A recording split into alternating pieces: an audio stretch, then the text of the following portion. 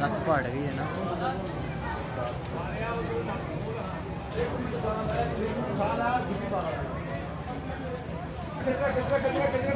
ਖਿੱਚਣਾ ਖਿੱਚਣਾ ਰਸਾ ਟੁੱਟ ਜਾਣਾ।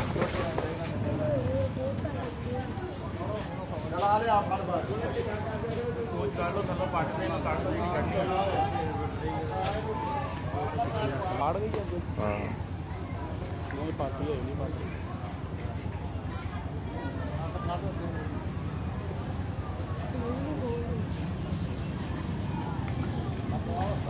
ਭੰਗ ਵਾਲੇ ਪੇੜੇ ਬਣਾ ਧਮਾਨਾ ਖਾਂਦੇ ਬਿੰਨਾ ਅੰਨੇ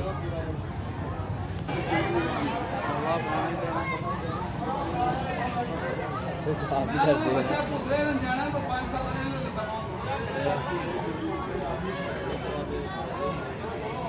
ਲੜਦੇ ਫਿਰ ਦੇਖੀ ਜਾਊਗਾ ਵੱਲ ਦੇ ਕੇ ਰੱਖੀ ਵੱਲ ਨਹੀਂ ਲੈ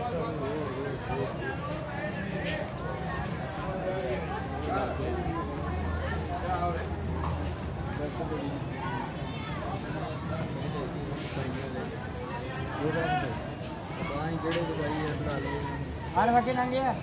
ਤੇ ਪਾਣ ਪੂਣ ਵਾਲੇ ਵਾਲੇ ਸਾਈ ਬੁਲਾਣੇ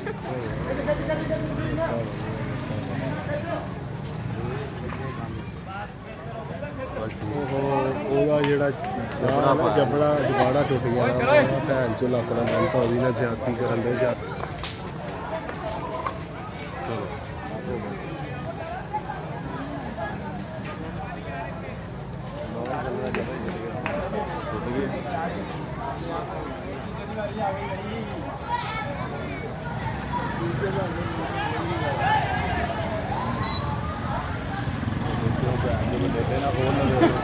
ਇਧਰੋਂ ਕੰਮ ਲੱਗ ਗਿਆ ਧਿਆਨ ਰੱਖੀ ਲੈ ਲਿਆ ਦਾ। ਸਾਰੇ ਇੱਧਰ ਲੈ ਕੇ ਮੈਂ ਲੈ ਲਾ ਗਿਆ